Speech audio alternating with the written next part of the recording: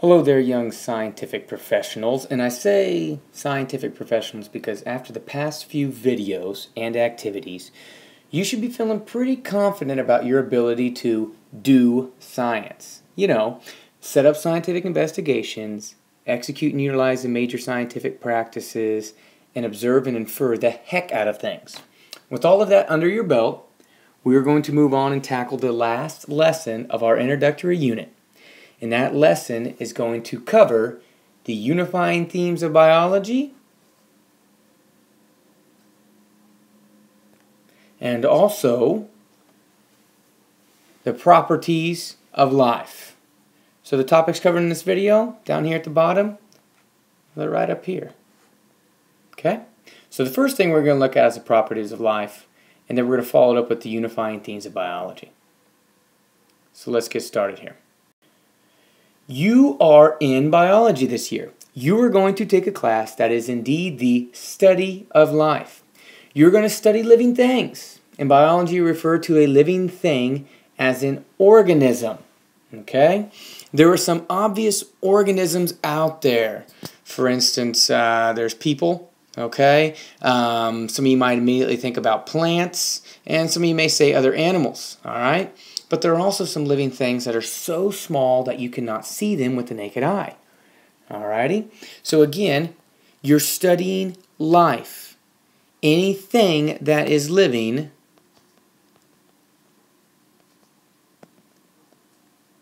is known as an organism. Pretty simple. So, regardless of how small or big, all of these things share common properties of life. So if you're an organism, no matter how big or small you are, you share a set of common properties with other organisms. So what does something have to have to be considered living? Take a couple of seconds and jot down some traits you think an object or an entity, that's a fancy way for saying thing, must have to be considered an organism. Pause the video, jot them down, go.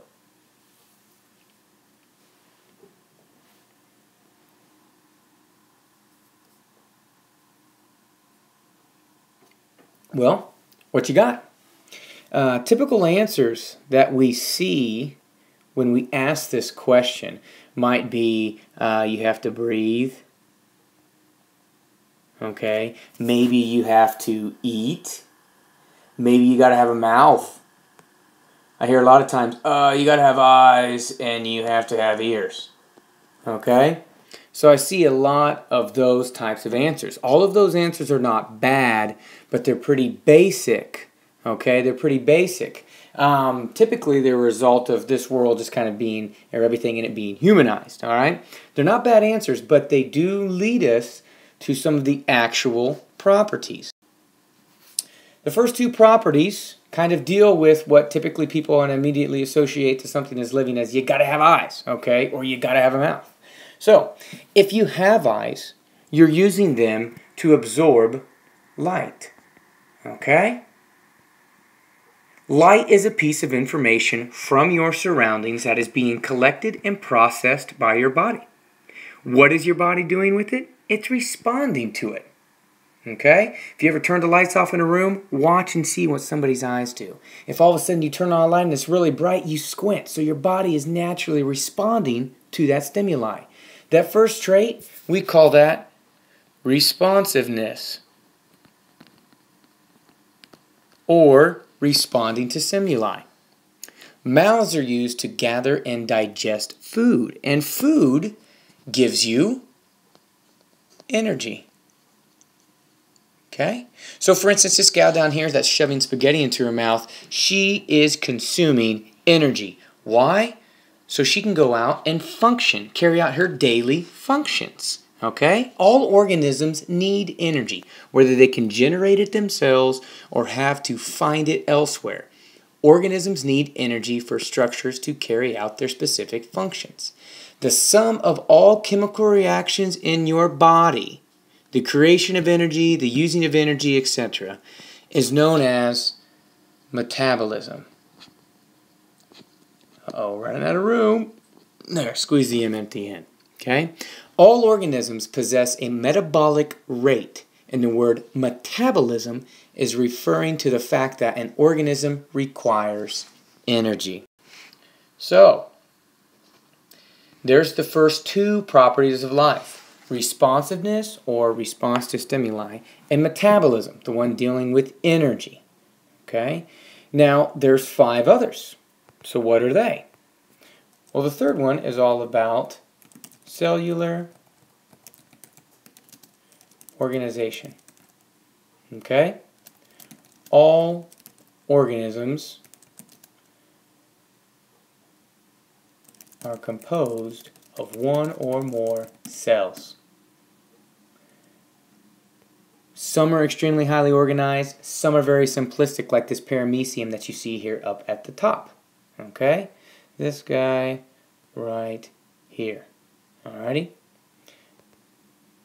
So,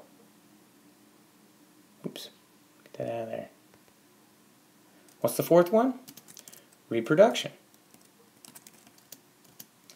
All organisms, just going to put ORG period here, reproduce to keep the species alive and well. Little chick hatching out of his egg. Homeostasis. This is kind of a new one for you. All organisms are working for internal balance and adjusting to their external stimuli. So this guy that's sweating right here, you can see the perspiration through his armpits. It's probably extremely hot in the room that he's in. If his body did not sweat to naturally cool him down, he would get too hot and he would no longer live. Another one, heredity. Heredity is all about parents passing on traits to their offspring. Okay? And finally, the seventh property of life is growing and developing. All right? All organisms grow, and all organisms develop. Okay? Growing is getting taller and wider. And little girl right here, you can see that she is getting uh, her height measured against the wall. Developing would be, uh, for instance, a teenager going through puberty, all right, or a tree actually uh, developing its reproductive organs. All righty. So those are the seven. Let's see if we can't squeeze them in here. Almost. Those are the seven traits for life, properties of life. So now, for something to officially be considered living, though, for something to officially be considered living, which of those seven must it have? Well, it actually has to have all of them. Okay? For something to be considered living, it has to have or have had all of the seven traits at one time or another. Okay? The activity that we're going to complete in class covering this material is going to further cover those properties of life and uh, help you to better understand them and apply them.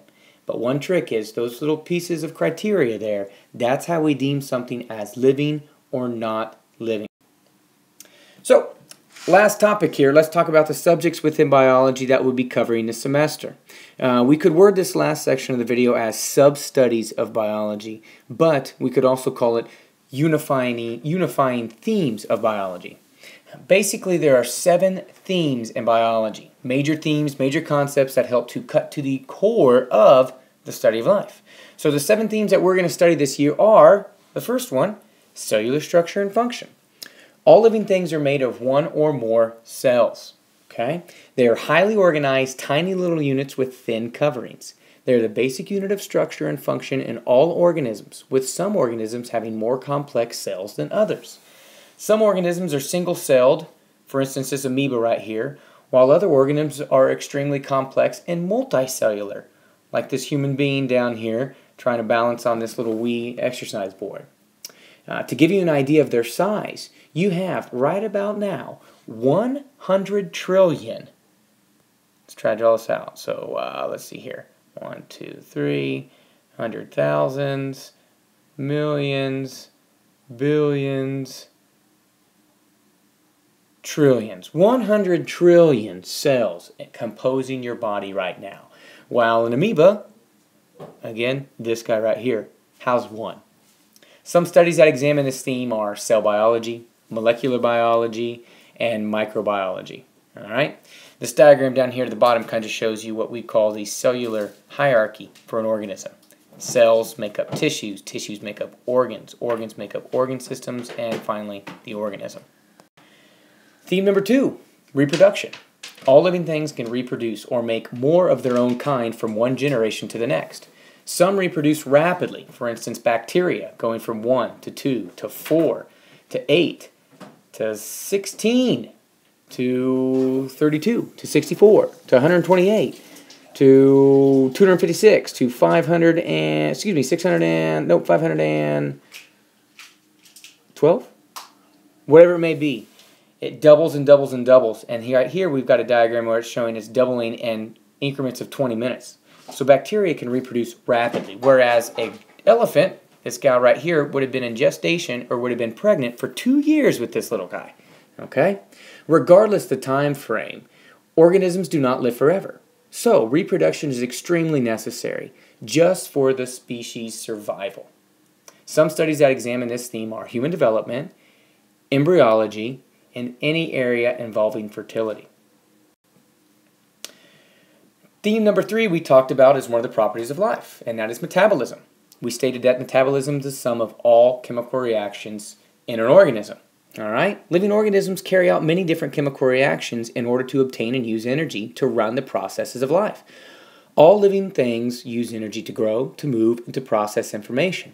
Metabolism is the sum of all chemical reactions carried out in an organism. So, almost all energy that an organism may use is originally gathered from the sun, believe it or not hence this picture with the plants with the sunlight kind of coming through the leaves. Right now, there's cells in these leaves of this plants that are carrying out photosynthesis and churning out basic chemical compounds that end up becoming some of the basic food that fuels these plants and other things that consume them. Okay? Plants, algae, and some bacteria take in sunlight and through photosynthesis create chemical energy. This chemical energy is then used by plants, algae, and or bacteria and is also consumed by other organisms so they can have energy to carry out their daily functions. If you want to know metabolism, if you want to take a look at all the chemical reactions that take place in a body, enter metabolic charts and try to check out a diagram like this. Pretty crazy to think that humans have actually studied metabolism enough as a theme of biology to kind of have a chemical chart of all the chemical reactions that happen inside of us. The fourth theme, homeostasis. Maintaining internal balance in response to external and internal stimuli. Organisms must a, maintain a stable internal environment in order to function properly. The maintaining of a stable internal environment in response to external stimuli, i.e., your surroundings, your environment, is known as homeostasis. An organism unable to remain internally stable will die. So, we had the example of somebody sweating earlier to cool themselves down because it was so hot. Well, in this example with the girl with the heavy coat and a scarf, she's got a coat on. She is responding to her stimuli by putting on a heavier coat to protect her from the cold weather. So her body can remain that steady 98 degrees where everything functions at its most efficient rate. Some studies that look closely at metabolism, ooh, sorry, forgot this, um, some of the studies that look closely at metabolism, since I didn't mention that last slide, are biochemistry, cell biology, cellular processes, molecular biology, and sometimes ecology. Um, some things that look at homeostasis, some of the subjects could be zoology, botany, microbiology, ecology, and cell bio. Theme 5 Heredity. All living things are able to pass on traits to their offspring. Traits can be physical, mental, and or emotional. These traits are encoded on genes, and the passing of them from parent to offspring is known as heredity. Understanding what gene codes for what and how the passing can sometimes get mixed up, i.e., mutations, is an important study to biologists. The major sub study of biology that focuses on this is called genetics. Evolution. The great diversity of life on Earth is due to a long history of change. Change in the inherited characteristics of species over generations is called evolution. Scientists are constantly studying this theme to better understand the tree of life and to gather a better understanding of relationships, both past and present, between all living organisms. So, this tree of life right here, here's where we're trying to develop known relationships in the current, both physical, all right, and also at the molecular level, and also from the past, okay? Uh, typically, we think of evolution and we look at this picture right here, okay? I'm not a big fan of this one because it makes it people think that humans came from monkeys. That's not the study of evolution. That's not what evolution says, okay? Um, but we've got some good data, for instance, from Charles Darwin's trip to the Galapagos Islands about the adaptations from the finches, okay? So we're going to study evolution, and it's going to be a pretty interesting topic, all right? Biologists are interested in developing connections, but also in how and why changes over time occur. Some sub-studies that focus on evolution are systematics, taxonomy, cladistics, phylogeny, embryology, anatomy, and molecular biology. Unifying theme number seven, and the final one here interdependence. Understanding how living things interact with each other and how they interact with their non living surroundings is the last major theme of biology we're going to look at this year. Many organisms are reliant on each other, either directly or indirectly. This theme is known as interdependence. The overall health and function of a group of different organisms depends heavily on how they interact with each other. Hence, why this is one of the major themes. The major area of biology that looks at interdependence is known as ecology. So we've got some examples here of interdependence with this food web, how this owl relies on this mouse for food, this mouse relies on this mosquito, okay? This bird relies on the mosquito, all right? This bird also relies on the caterpillar, the grasshopper, and the ladybug. So there's a lot of intertwined um, relationships, either directly or indirectly, between organisms and other organisms and organisms and non-living organisms. Okay? So, as Porky Pig would say, that's all, folks. All right? That's going to do it for this video. Make sure you're comfortable with these concepts, both properties of life and unifying themes of biology. Okay? Be ready to apply this knowledge in class. We're going to go ahead and we're going to do an activity that's going to help you build a better understanding with these concepts and also help you practice and understand by applying these concepts. All right. Um, another question I have for you is: Did you complete the guided note sheet that went with this video? I hope you did. Okay, I hope you did. If not, make sure you do that. That is a deadline grade. Okay, not going to grade it academically. We'll probably check through it in class as a major, as a whole group, um, but you do need to have it done. And finally, give me some feedback. All right, email me and tell me, or tell me in person, um, what you think of the video, what you think of this video, what you think of the video so far, and, and just how things are going. Okay, want to want to have constant feedback and discussion with you guys. So uh, that's all I got for this one, and I'll see you in class.